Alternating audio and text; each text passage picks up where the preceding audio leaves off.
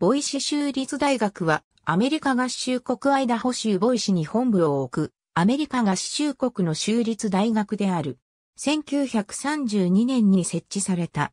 190以上の専攻分野から201の学位を提供し、1万9000人ほどの学生が在籍するアイダホ州において最大規模の高等教育機関である。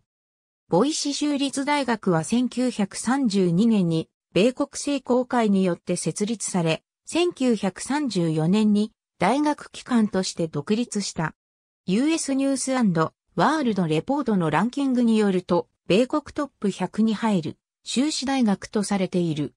稀に、ボイジー州立大学とも記されるが、正しい発音は、ボイシーであり、原音により忠実な日本語表記は、ボイシー州立大学、または、ボイシー州立大学である。以下8つの学部は、緑豊かであり、赤レンガを基調とした建物群で構成されている。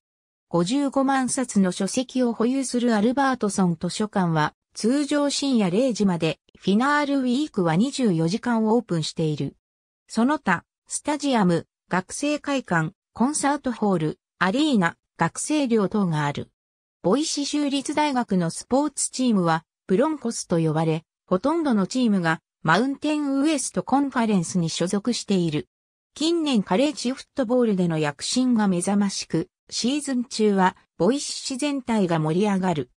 2007年にオクラホマ大学、2010年にテキサスクリスチャン大学、2014年にアリゾナ大学といった強豪校を破り、フィエスタボールを3度制覇している。キャンパス内にあるブロンコスタジアムは全米で唯一青い芝のフィールドを持つ。ありがとうございます。